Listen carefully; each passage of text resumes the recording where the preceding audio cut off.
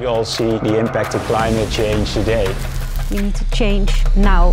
This year, DGTL becomes the world's first circular festival. Everyone knows that this is the only way to go. In order to achieve this, we introduce new ways to convert all of our waste into valuable resources. Is it possible to make tea out of pee? Fully sustainable energy. An alternative for fossil fuel. Food can really make the change.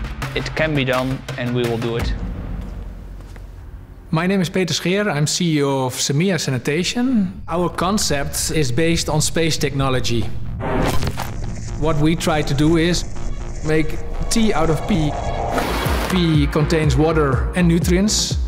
Uh, fresh mint needs nutrients and water. I already have nutrients to grow the fresh mint and I have the water out of my urine and then hot water and fresh mint makes tea. We want to provide Sustainable Development Goal 6 of the United Nations, a good sanitation and clean water for everyone.